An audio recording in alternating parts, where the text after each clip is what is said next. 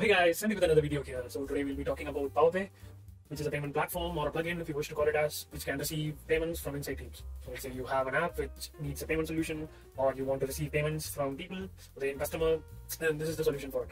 So let's quickly look at that, it's a diagram and then we'll look at a demo. So the first part that we have is the Power Apps.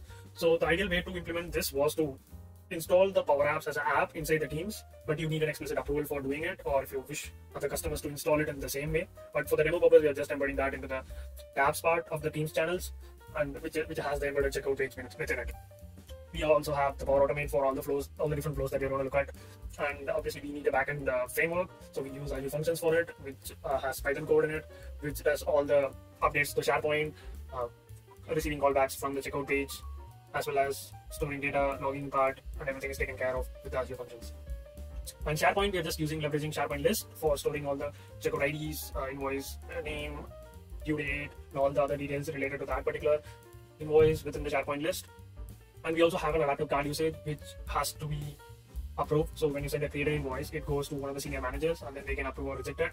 And only then you would see the approval list or only when you can make the payment. So pay now button will be enabled only if there's an explicit approval from a senior manager.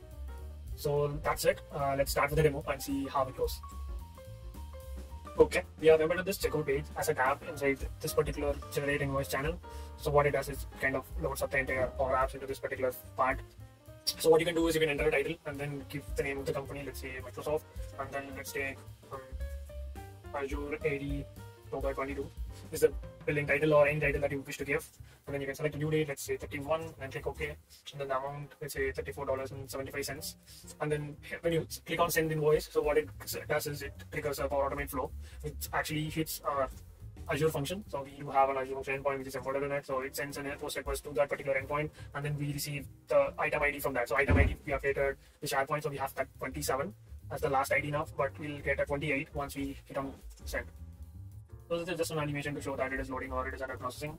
So once that is done, we'll see 28 is created enough. And once you go back to the SharePoint, you do refresh if it doesn't update.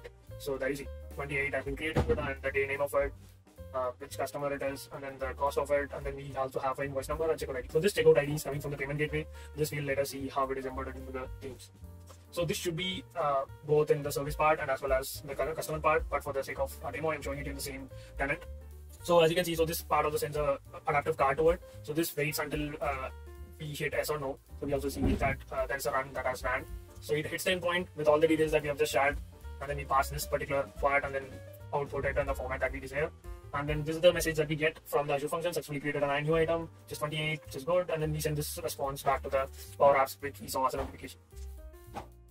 So this flow also waits send for approval and then it waits for us to give. So you see the status is still running. So we need to give S or. So we'll just click it on S. So we click on S and then say started and then you see this particular thing started when you click on S. So we could also see what ID and who has submitted it and then email ID of it. So let's say if there are three senior managers and you need two approvals or you need this particular person's approval, you can specify that as well.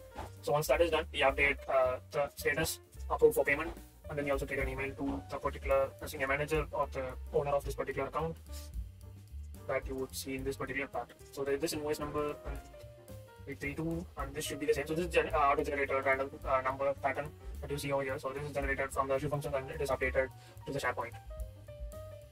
So let's look at the actual place where we do the payment part. So this should be uh, inserted into a checkout page and this should be the admin part for again for the sake of the demo here that this could be done. So there's a quick filter if you don't want to scroll through all the way down. So uh, put for payments and you should see the last one which we created and then you can click pay now. So this is the interesting part where we have the checkout page right inside the Teams. So let's give it some time to load and then so this is the page where you actually do the payment, right? So we'll get the demo card number. So this is not an official card, so this is for the demo purpose that we have.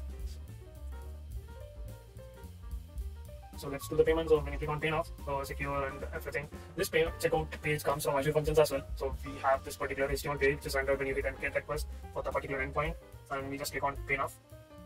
And then you get the invoice number back. So there's a callback from this particular checkout page to Azure Functions, which is triggered so that this status updates. So let's uh, see approve for payments that we did, and then once you click on, and then it, it tells us that payment successful. So this is the ID that we saw, 992. So this is how easy it is to import this particular part into your uh, own application. So this would be again useful for people who are developing an app which needs a payment solution and then you don't want to waste a lot of time, just make a component out of it. So if this wasn't a component, then it would be more easier for uh, to avail payment successful and then we should see this one as successful. And then you can also view that, uh, who paid it, and what is the amount, who processed it, who approved it, all these details. And we also have a theme toggle over here, so you can definitely, we also have a refresh part when you want to really refresh, but it also automatically updates for some reason. So this is all about the payment part and you can read more about this in the blog, in the medium part, which I would share in the description part. Uh, I hope I have shared some of the details that I, so the code is open source again, you can look up the GitHub repo and then you can make PRs out of it. And thanks for watching. See you in the next one.